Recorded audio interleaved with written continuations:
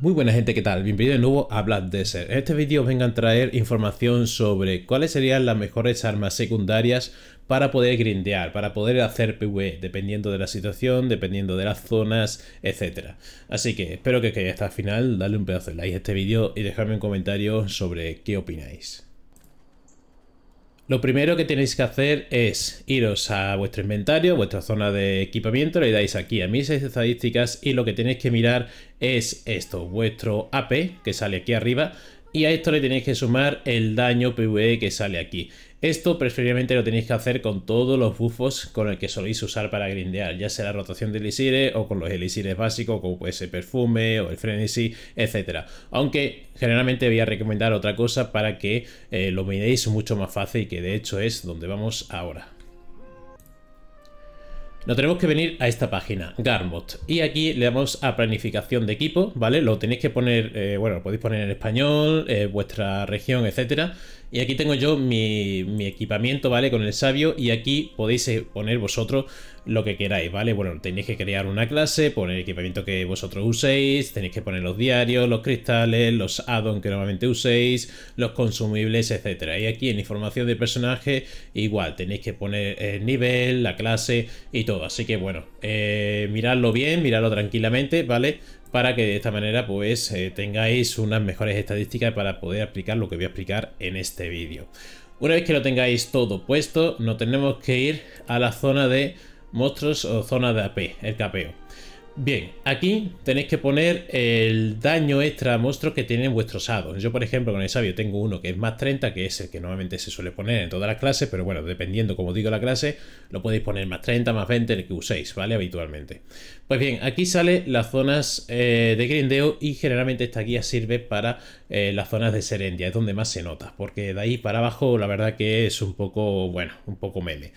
Pero bueno, para que lo entendáis. Yo ahora mismo, según las estadísticas, según los elixires, ¿vale? Que podéis cambiarlo aquí como digo, etcétera.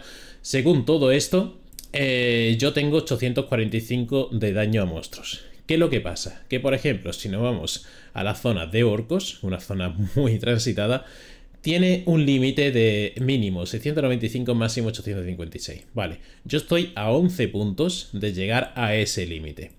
¿Qué es lo que pasa aquí? Que como estoy a 11 puntos, ¿vale? Yo sigo aplicando pues este daño, ¿vale? máximo de daño, el 100% de daño a esta zona.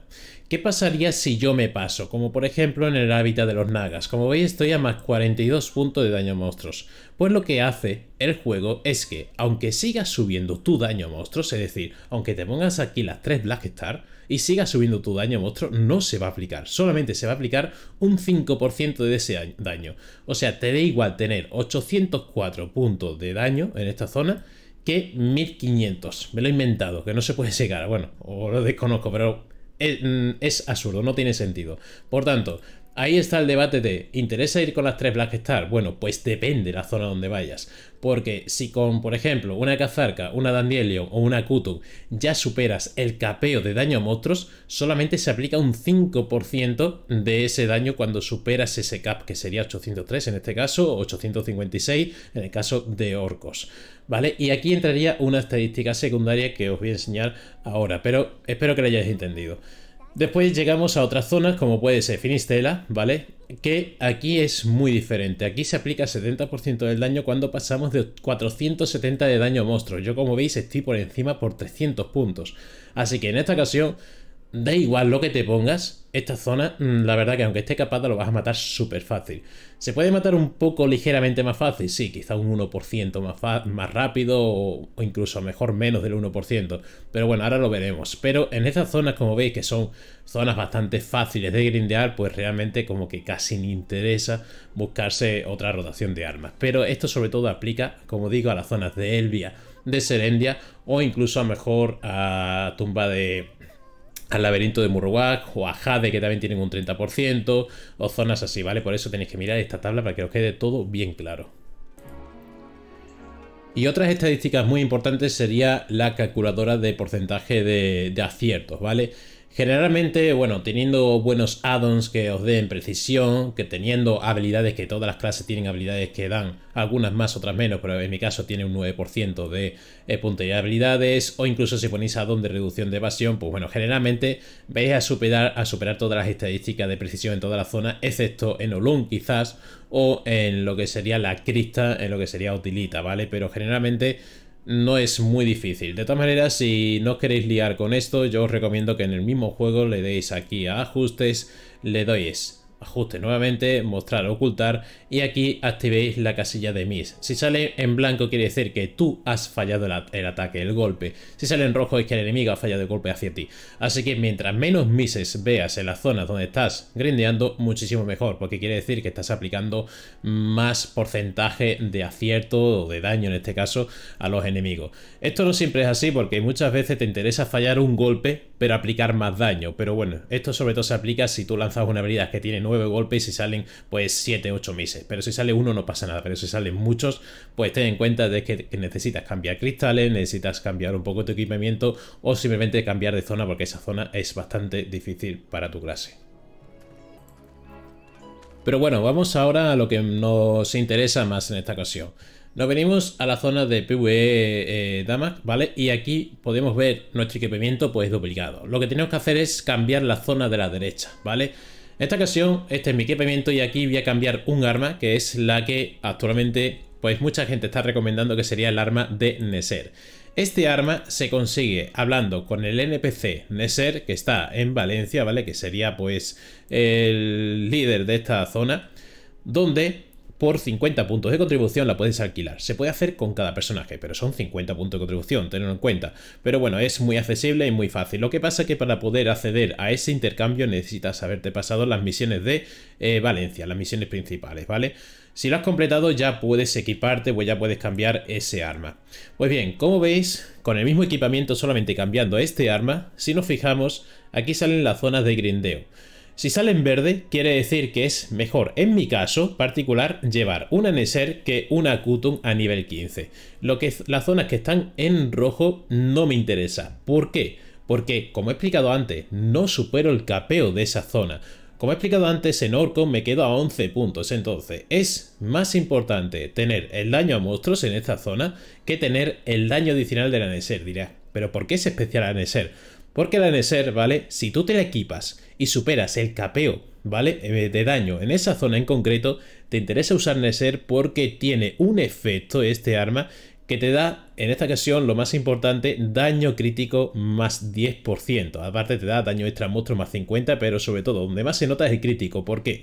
Porque si tú estás en una zona donde superas, superas el capeo de, daño en esa zona, como puede ser Saunil en este caso, ¿vale? Que tengo un 3,6% más de daño, es porque con mi equipamiento antiguo ya superaba el capeo, ya tenía más porcentaje de daño a monstruo. Pero si además mi equipo la Neser sigo superando ese límite de daño a monstruos y encima le aplico el daño crítico más 10%, es más importante el daño crítico que no seguir subiendo AP como loco porque no se va a aplicar más daño. Se va a aplicar más daño, le vas a hacer más daño al enemigo con el 10% de crítico de la Neser que no con una Kutum siguiendo subiendo de Capra, siguiendo subiendo o encantando Black Star para hacer más daño a monstruos. La verdad que eso no interesa para nada porque vas a llegar al capeo, vas a seguir subiendo pensando que vas a tener mejor equipamiento y no es así. Así que en esta ocasión, ¿vale? Como veis en este ejemplo es mucho mejor en mi caso llevar una Neser que no una Kutum a nivel 15 por el tema de los capeos. Todas las zonas verdes que me salen son mucho mejor llevar la Neser. Después hay otra zona como puede ser X y demás que no superó el cap y como veis sale siempre nuevamente en rojo. Entre otras estadísticas puede ser también de precisión y demás. En este ejemplo como veis me he puesto las tres Blackstar Astro Oscuro en PEN. Y aquí he hecho lo mismo pero cambiando por la Neser, la secundaria. Y como veis en estos capeos Prácticamente en todas las zonas te interesa más usar el arma Neser por ese 10% más. Así que podéis ir aplicando vosotros mismos y ver qué os interesa. Así que bajo esta situación básicamente os interesa en la mayoría de zonas, sobre todo como digo en Elvia, de Calfium y Serendia, usar la Neser como arma secundaria. Pero no queda ahí la cosa. Vais a ver ahora que hay otro arma también muy pero que muy interesante. Luego hay otro arma también muy, muy interesante, aunque creo que aquí ya mm, depende mucho de, sobre todo la clase, cómo te muevas, dónde grindes y demás, pero hay que tenerla muy en cuenta, que es un arma verde, ¿vale? Nos venimos, al mercado central, le damos armas secundarias y buscamos pues el arma secundaria de nuestra clase. En esta ocasión yo voy a buscar el talismán, que es lo que usa el sabio, y buscamos un arma que tenga de AP 6, ¿vale? Toda la secundaria, nada más que hay una que tiene más 6 de AP. Esa es la que tenemos que buscar para ponerla en nuestras estadísticas de Garmot.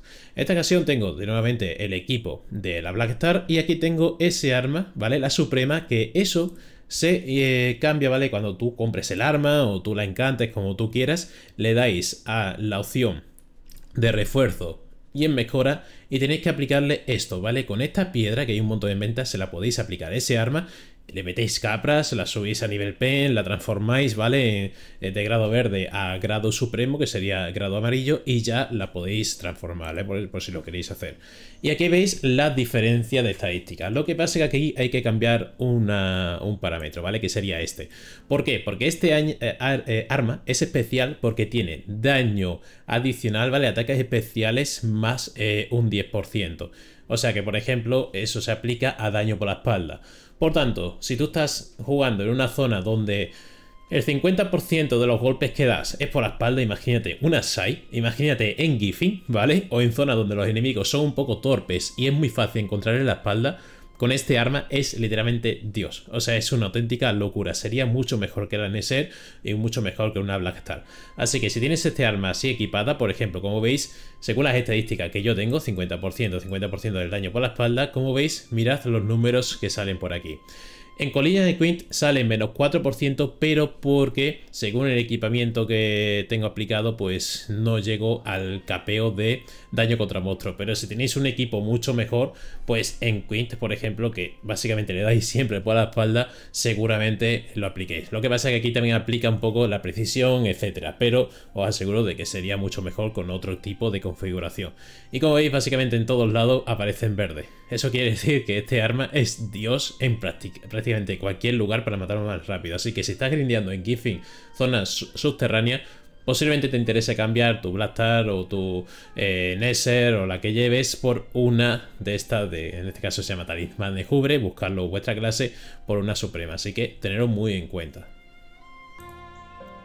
Y luego igualmente, pero haciéndolo con una Nesser a la derecha y la de Jubre a la izquierda, como veis, si aplico el 50% del daño, que es por la espalda, pues me sigue dando que las estadísticas son muy superiores con el arma eh, verde en Pain, ¿vale? Con sus capras y todo, básicamente.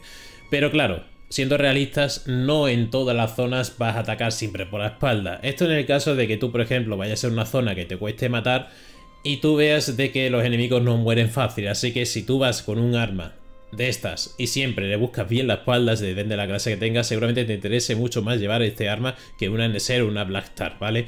Pero como digo, hay zonas como puede ser a lo mejor en Orcos que no a todos los enemigos y no siempre ataca para la espalda, mucho menos cuando tienes un arma, ¿vale? Que te aplica, eh, como ya sabéis que los matas que parecen mantequilla, pues sinceramente tampoco te molestes mucho en cambiar ese arma. Pero si eres full PvE, te encanta el PvE y es lo único que haces en el juego, sinceramente, lo más importante es que llegues al capeo de daño a monstruos, ¿vale? Te da igual que sean Blastar, te da igual que sea Dandelion, que sea Kazarka, que sean las tres Blastar, lo que sea. Pero sí que es verdad que la secundaria actualmente, ¿vale? Sí o sí tienes que llevar una Neser y una secundaria eh, verde para, dependiendo la zona donde grindes, pues te interesa más una u otra. Que estás, como he dicho, en una zona como puede ser Giffing o Giffing eh, en grupo, a lo mejor Mirumok, a lo mejor... Eh, eh, Nexe, quizás, pues a lo mejor te interesa más tener el arma verde a nivel 20 de capras en nivel pen. Que a lo mejor esta es una zona como puede ser Orcos, Miragi y alguna zona así, a lo mejor en Elvia Café, incluso a lo mejor quizás Exe también, depende de la clase, cómo te mueves y demás, pues quizás te interese más la Nesser. Así que espero que más o menos haya entendido el concepto, ¿vale? De lo que, donde quiero yo llegar con este vídeo. Y de esta manera, pues, si estáis en zona que os cueste un poco más grindear, pues ya sabéis, ¿vale? También puede ser motivo de que tengáis mal puestos los cristales, tengáis mal puestos los, eh, las reliquias, ¿vale? Los artefactos, etcétera. Pueden ser también otros factores dependiendo de lo que vosotros pongáis aquí. Así que poner aquí vuestro equipamiento, mirar cómo salen las estadísticas y vosotros decidir.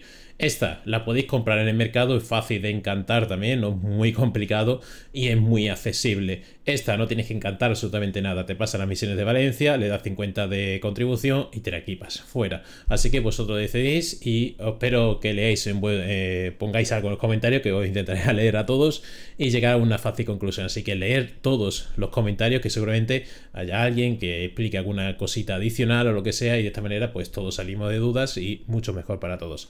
Así gracias por vuestro like y nos vemos gente. Chao.